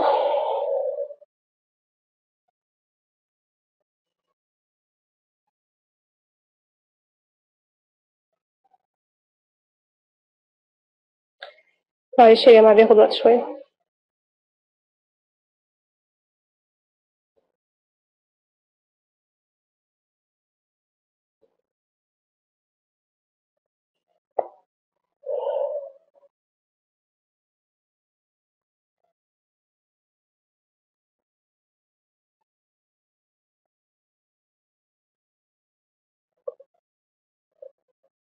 هو ال movie طويل شوية لكن بيبقى فيه ساعات movie ات أقل وإن شاء الله هنعرف برضه دلوقتي إزاي نعمل. يعني effect بين صور ثابتة لحيوانات مختلفة مثلا بتشترك في صفة واحدة. ممكن أعمل لها فيديو صغير سريع كده وأصدرها على البرمجية بتاعتي يعني مثلا ه- ه- أجمع مجموعة حيوانات أكلة العشب.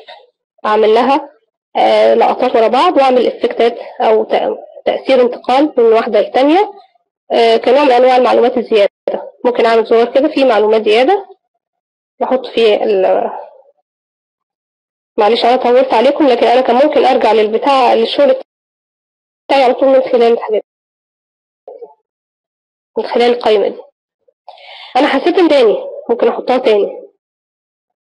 ممكن أتنقل بين واحدة والتانية كده. لو أنا عايزة دي بعد دي بحركها كده بيديني شريط أزرق كده إن أنت هتحطها هنا. هتحطها؟ في الآخر وهكذا. فأنا عايزة أحطها بعد التانية علشان تديني إطالة شوية. مثلا وممكن أدوس من هنا وأكبر أو أصغر. كده أهو. لو أنا عايزة أمنتج شوية. لو أنا مثلا شايفة إن اللقطة دي كبيرة أوي وعايزة أصغرها بقف على آخرها كده تديني سهم أحمر عكس عكس بعض. ممكن أرجع شوية اللقطة كده. أنا كده قصيت الجزء اللي في الآخر. أو خبيته هو مش مقصوص أنا لو رجعته تاني هلاقيه موجود عندي. بس أنا كده خفيته في وقت العرض مش هيبان. يبقى عايزة أشيل حتة في آخر اللقطة أو في أولها. اللي أعرفه في ال Movie Maker كده إن أنا ممكن ألعب أول أو آخر اللقطة بس. لكن في وسطها ما أقدرش أعمل cut بس إلا إذا أنا لزقت اللقطة نفسها من الأول مرة واثنين وثلاثة تاني. هرجع ممكن نظهر لوحة العمل تاني. أنا عايزة أحط صوت أو مش عايزة. هنا بيقول لو أنت هتسجل. هتبدأ تسجل ممكن تحطه هنا. موافق إن أنت تضيف سرد صوتي ولا لأ؟ هقول له لأ أنا مش عايز مثلا. أنا ممكن ألغي الصوت خالص. الغي لي الصوت خالص. لو لو في عندي صوت ومش عايزاه فبقول له من هنا الغي لي الصوت خالص. يبقى لو أنا عندي فيديو فيه صوت ممكن أستغنى عنه من هنا أمسحه. ممكن أضيف صوت. ممكن أقص من أول الفيديو أو من آخره. بعد ما أقطعه لقطات هرجع تاني لإظهار لوحة العمل. لو أنا عايزة أبص هنا هكبر وأجي للقطة اللي بعديها وأقف عندها وأكبر وهكذا. طيب أنا ممكن بقى مش هعمل هنا مؤثر مؤثر بينهم هعمل مؤثر هنا لأن الاتنين دول زي بعض. حاجة تانية عايزة مثلا أحط اللقطة دي كمان. خلاص هاجي بقى للمهام مجموعات تأثيرات الفيديو. عفوا انتقالات الفيديو. أختار دي واحطها هنا. أنا ممكن آه، يا إما بالخبره يا إما حسب المادة اللي بتتعرض ال- ال animation ده هيبان في اللقطة دي ولا مش هيبان وهكذا. هو أنواع من أنواع إيه الفاصل بين اللقطة والثانيه بحيث إن هو ما يبانش إن فيها آه، نقطة مثلا أو أنا خدت من ناحية ومن ناحية. هعرض من هنا. هو كده واقف على آخر حاجة أنا واقف عليها هنا. لو أنا وقفت هنا هيعمل play من أول هنا. وقفت هنا وهكذا. يبقى هجيب من اول الفيديو خالص وأقول له play. هشوف الفيديو كده قبل ما أصدره مناسب ولا مش مناسب. ده مثال أنا جبت فيديو مثال لكن في برمجيتنا هيبقى كله الجرافيك طبعا.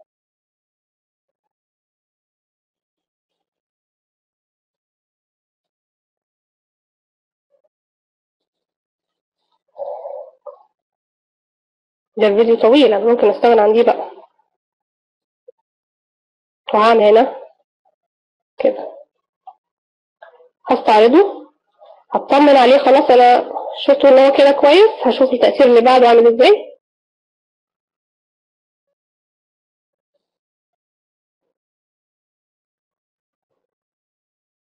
التأثير اللي بعده لقيته خلاص كويس وخلاص حسيت إن اللقطة كده كويسة وكفاية عليها. خلاص أنا خلصت كده هقول له فايل حفظ المشروع أو حفظ المشروع باسم. عفوا هرجع للمهام. هدوس على المهام الأول وهقول له تحرير الفيلم. عفوا من إنهاء الفيلم أصدر بالعربي أنا كنت عندي نسخة إنجليزي. آه، من إنهاء الفيلم هقول له حفظ إلى الكمبيوتر الخاص بي فهدوس عليها كده. هيطلع لي شاشة تانية. هيقول لي الفيلم ده عايز تسميه إيه؟ إحنا في برمجيتنا مسميين ABC في الأول هيبقى على طول ABC الفيديو هيبقى V1 مثلا لو دوت لقطة الفيديو الأولى. بيقول لي هت- هتحفظه فين؟ هك- ه- من استعراض أو من browser إنجليزي هقول له في المشروع الجديد احفظوا لي جوه. آه، أنا ممكن لو مش عندي طبعا المفروض يكون عندي في الأول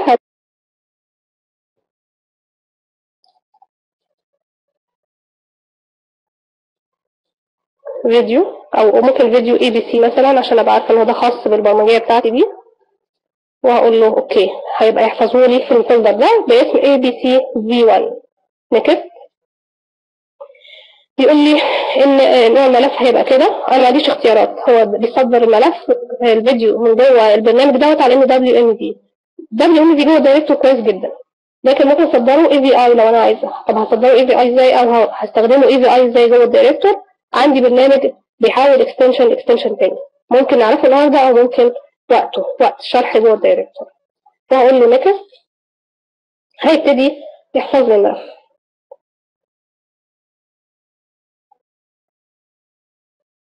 تمام لغايه دلوقتي يا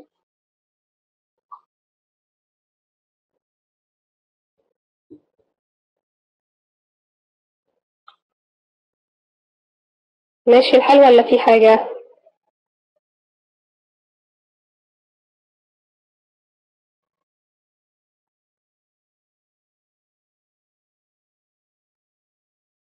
أنا خايفة أشرح جوه البريمير أنا بقالي كتير سايباه فمش عايزة أشرح فيه وأنا ناسية.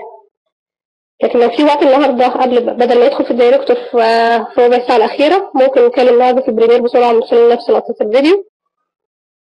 يا اما هنشرح رحلة فعلا برمجيات ال movie اللي إحنا عملناه في أول الرحلة خالص. هنشرحه بسرعة إزاي يتعمل جوه ال Director والمرة الجاية إن شاء الله هنتعمق جوه البرنامج. هشوف البرنامج. الفيديو قرب يخلص اهو تصديره. واول ما بيخلصه بيقول لي هيتعرض بالشكل اللي انت عايزه ده هيعرضه لي على طول.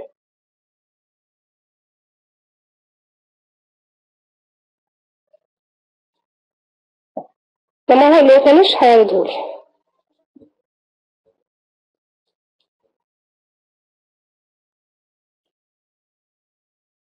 أنا طبعا نسيت أقول لحضراتكم إن أنا ممكن من جوه البرنامج قبل ما اصدرها لقطه الفيديو هقول له خلي لي حدود اللقطة بتاعتي آه، 320 420 380 مثلا. بيبقى فيه ساعات برضه standard للفيديو جوه ال Director أو الشاشة اللي أنا عايزاها ايا كان عرضها وطولها أقول له خلي لي الويتس والهايت بتاعها كذا بكذا ممكن أنا اتكر خلاص اطمنت اللقطة بتاعتي. كويسة؟ بسيبها في ال folder بتاعي وهبعتها للمبرمج هو هينزلها في الوقت المناسب على البرمجية حسب اللي موجود في ال storyboard ده برضو قسم تاني من الأقسام اللي بتشتغل جوه إنتاج البرمجيات قسم مونتاج الفيديو أو الصور. إحنا النهاردة أو دلوقتي اتكلمنا عن إنتاج صور مونتاج صور فيديو عفوا. طيب عايزة أتكلم عن ماشي أحفظ مؤقتا؟ عن الصور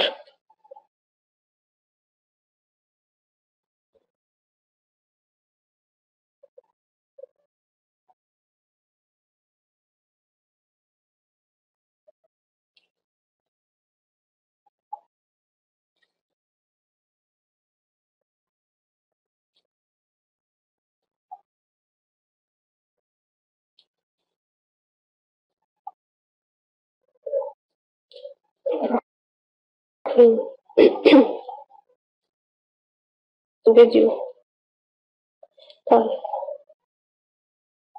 هعمل ملف جديد. وهقول له استيراد صور. المرة دي مش استيراد فيديو. أنا شغلي جوه المشروع. هدور على الرحلة. الفوتو. وليكن مثلا أنا عايزة أحط دي وعايزة أحط ده. بختار الصور اللي أنا عايزة أنزلها. في حاجات كنت جايبها قبل كده.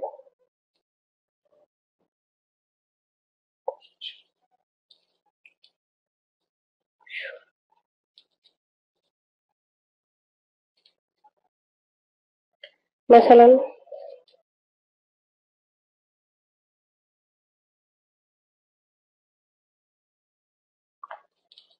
وليكن بلاش تقول استيراد وليكن إن شاء الله معيش إن شاء الله قبل الدايركت ما نشتغل فيه هتكون كل المكتبة جاهزة عندي. عندي الحاجات دي. هي بتنزل تلقائي. حسب الشغل اللي هعمله يعني الحاجة مناسبة بتاعتها أنا مثلا عايزة ده ينزل وراها دي وراها دي. طبعا دي لقطة واحدة بس frame واحد بس هيبقى سريع جدا. طيب عايزة اديله وقت أكبر؟ ممكن أعمل control C واجي هنا أقول له control V أعمل أكتر من مرة. لغاية ما أحس إن الزمن كده كفاية. في مثلا.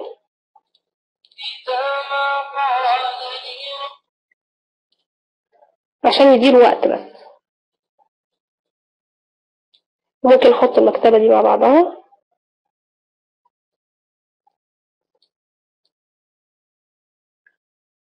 مثلا هنكتفي بكده مثلا أنا هعتبر إن كل الأشكال دي حاجة واحدة بس وهاجي عند ال هاجي عند المؤثرات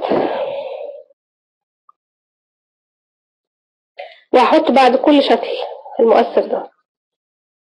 بعدها ده. خلصت البقرة هحط بعدها ده. آخر حاجة مش هحط طبعا لأن مش هيروح لحاجة تانية. فعند آخر لقطة مش هحط تاني وممكن أستعرض ده في الآخر أنا زي ما اتفقت أنا واقفة هنا هيعرض من أول هنا. فأنا عايزة أجيب من الأول خالص. اعرض من أول هنا وأشوف هيحصل إيه. لو أنا حسيت إن الفترة طويلة ممكن أقلل عدد الصور شوية. هو ال frame الواحد مش عارفة آه، بياخد وقت. أنا ممكن أتحكم في ال time برضه. يا إما أتحكم في ال time يا إما إن أنا أضيف أو أزود عدد الصور جوه ال frame هنا. لما بعمل delete بيشيل لي المؤثر على طول. هاجي من الأول وأعمل ليه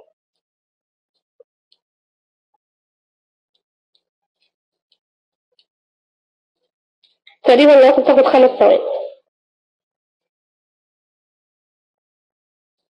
لو أنا بتكلم معاهم بقول له مثلا ده حيوان قنديل البحر بيستخدم أو يعيش في المنطقة الفلانية فممكن أخليه طويل وأتكلم معاه بالمايك زي ما اتفقنا.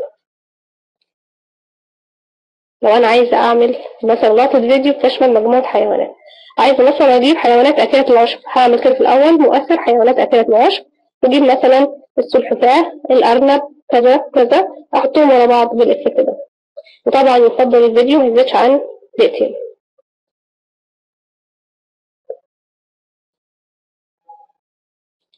دي هتنفع بالبطء ده لو أنا بتكلم معاه. لكن لو صور بس ممكن أخلي عدد الفريمات بتاعت الصور أقل من كده. ممكن في الحالة دي هكتفي بصور كل حاجة.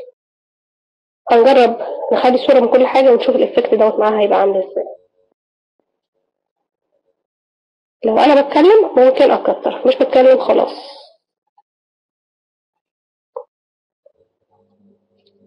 لما بمسح بيمسح مع ال effect اللي بينهم. هحط هنا أي مؤثر.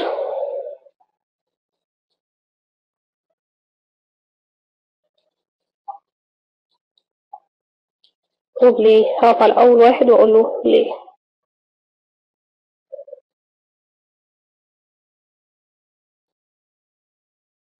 الأثر ال- ال Premiere بيبقى فيه طبعا effect ات أكتر من كده. ممكن أدخل معاه أصوات هنا ممكن أدخل أصوات برضه بس ال Premiere بيبقى أكثر جودة.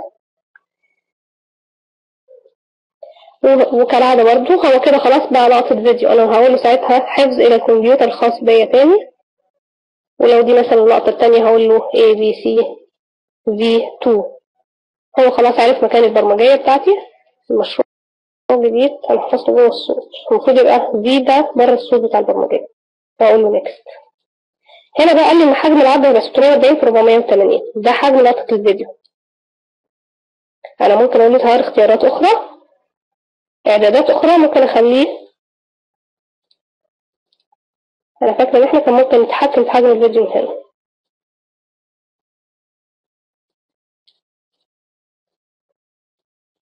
هو الحجم اللي هيطلع بيه 640 في 480 في ال Format Factory اللي هو البرنامج اللي بيحول الامتداد لامتداد لامتداد آخر أنا ممكن أتحكم في حجم الفيديو. جوه ال Premiere ممكن أتحكم في مقاس الفيديو وجوه ال After Effect كمان. هقول له next هيصدره لي وهيحطه لي في الملف بتاع الفيديو.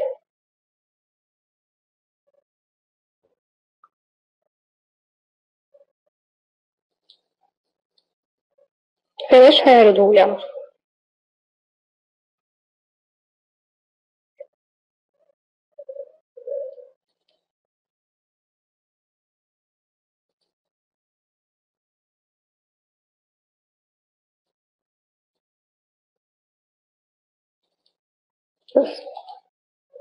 دلوقتي يتصدر على انه امتداده WMV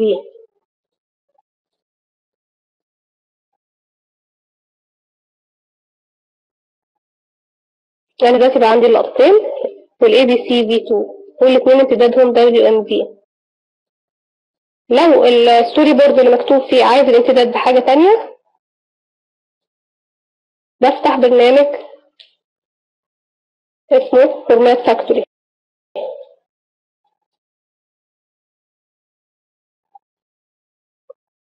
لغاية دلوقتي معايا يا جماعة. يعني أنا معلش لو المحاضرة النهاردة مملة شوية بس كان لازم نمر على المرحلة بتاعة المونتاج.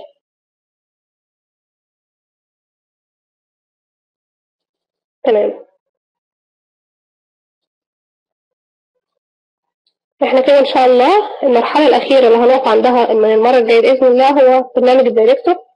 ومن برنامج ال Director هننتج البرمجية بتاعتنا إن شاء الله وهننزلها على ال group. دي آخر محطة هتطول شوية معانا معلش. إن شاء الله هحاول على قد ما أقدر نخلص قبل رمضان لو نفع ما نفعش إحنا وظروفنا إن شاء الله بس يا رب يعني ممكن نضغط نفسنا شوية ونحاول نخلص قبل رمضان. لكن كإنتاج برمجية وتنزيلها على الجروب طبعا هتطول شوية معايا. أنا كنت بشرح هنا الخطوات الأساسية لكن ككم لسه ما خلصش معايا كمان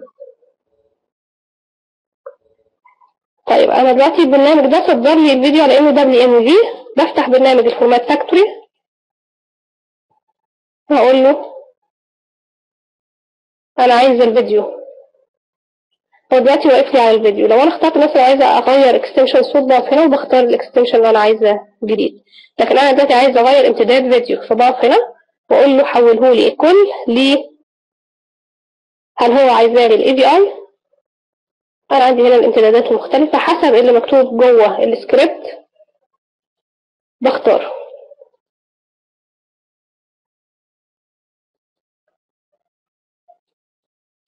لو أنا عايزاه AVI مثلا ولو إن ال AVI بيبقى حجمه كبير ولا أفترض إن أنا عايزاه AVI فبحدد هنا وأقول له أنا عايزاه AVI بيقول لي طب حطي الملف إضافة الملف اللي أنت عايزه.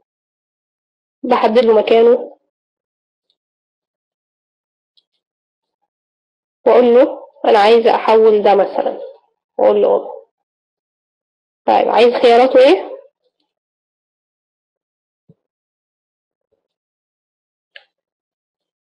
قال لك إن أنت كده هتبعته من دبليو إم في الإي في أي على طول بالامتداد بحجم 640 في 480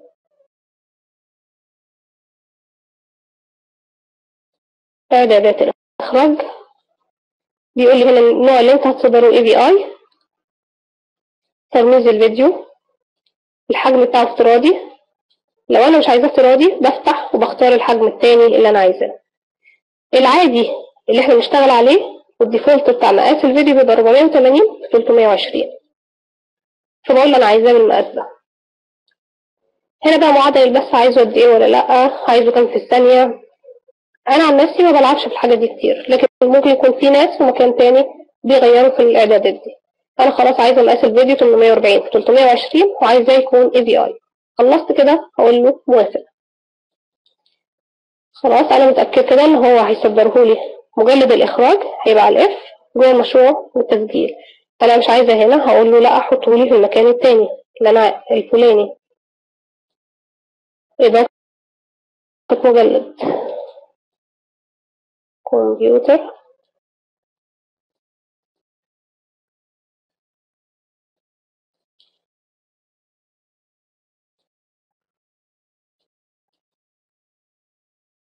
خليهولي في نفس المكان وهقول له أوكي. خلاص أنا خلاص اطمنت كل حاجة تمام هقول له موافق.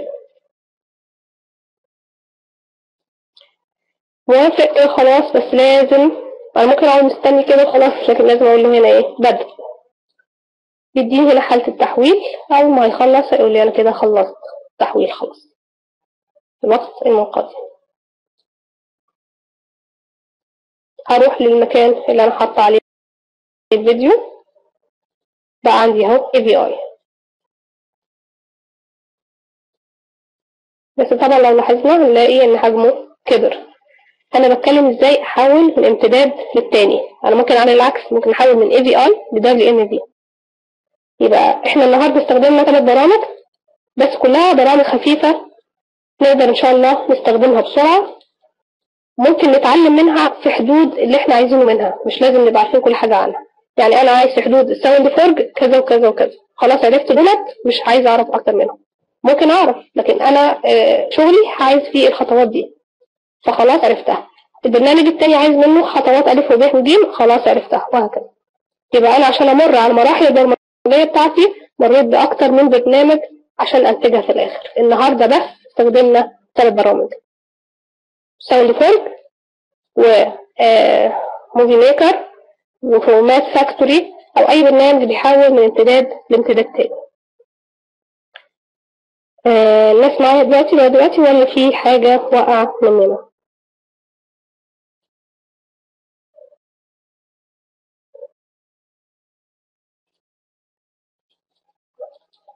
إيه الأخبار يا جماعة؟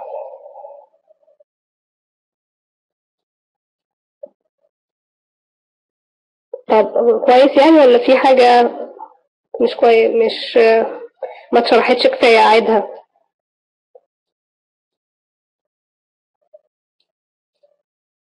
ربنا يخليك أحمد. طيب. يبقى إحنا إن شاء الله تاني اللي اخدنا لغاية دلوقتي. مرينا على كل المراحل وفاضل لنا المحطة الأخيرة والأساسية بالنسبة لي أو ك... ككان ك... اللي مطلوب مني يعني كانت محطة ال Director. إن شاء الله من المرة الجاية هنبتدي في Director أنا كنت عايزة أعرض النهاردة الرحلة بتاعت عالم البرمجيات التعليمية اللي إحنا استعرضناها في أول آه، محاضرة. بس آه، موضوع الصوت اللي حضراتكم مش سامعين الصوت دي عملت لي قلق. فممكن لغاية ما نعرف إزاي نعالج المشكلة دي لأن لازم نسمع الصوت جوه ال Director في خلال الشرح. فلو في حل ليه إن شاء الله من المرة الجاية هنبتدي فيها بقى. فأنا بعتذر لكم النهاردة لو محاضرة صغيرة شوية لكن بعتذر عشان عندي امتحان بكرة.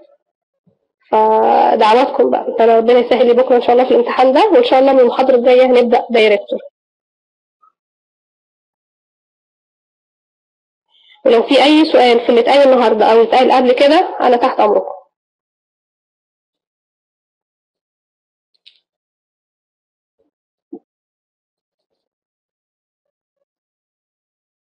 ربنا يخليك يا أستاذة رشا. ولو توفر ف- فرصة إن إحنا نشرح ال Premiere بسرعة إن شاء الله ممكن نشرحه برضه لو لو في ناس كتير عايزة. لو حد عايز نشرح Premiere بسرعة المرة الجاية وبعدها نكمل Director أنا معاكم. لو مش عايزين نبدأ Director على طول برضه أنا معاكم.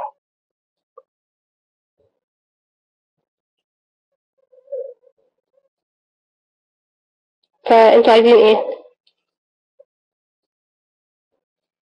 طب لو عايزين نشرح آه، Premiere مجموعة المحاضرة لو عايزين Premiere بكرة المرة الجاية إن شاء الله في الأول مع بعض واحد بقى ندوس واحد. لو عايزين Director على طول اتنين. وبرضه في نفس الوقت هنرجع للدبلومة اللي شرحها دكتور محمد في الملتقى.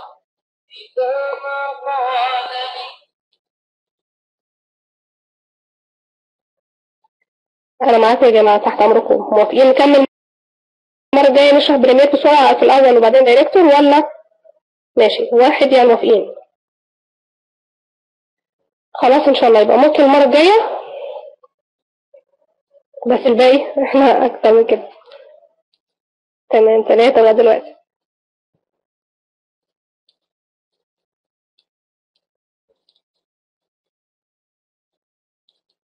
طب خلاص معلش.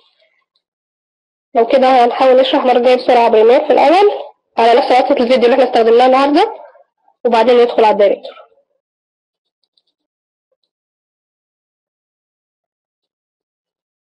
إن شاء الله أستاذ أمين وبعتذر لحضراتكم لو أنا خلصت بدري النهاردة بس آه، معلش أنا آسفة ولو أي سؤال يا جماعة أنا تحت أمركم. في القديم في الجديد أنا تحت أمركم. في حدود إمكانياتي واللي مش عارفاها هسأل وهجاوب إن شاء الله عليه برضه.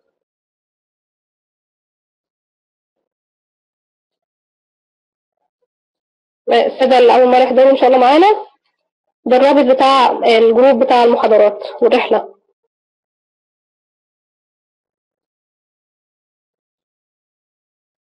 على قناة اليوتيوب. دي القناة بتاعت اليوتيوب المختصة بمنطقة الدريان أستاذة رشا. طيب أستاذن حضراتكم. أراكم إن شاء الله المرة الجاية على خير وبإذن الله المرة الجاية تبقى أفضل وأفضل. أكون إن شاء الله كنت درست امتحانات ولا إن شاء الله بجد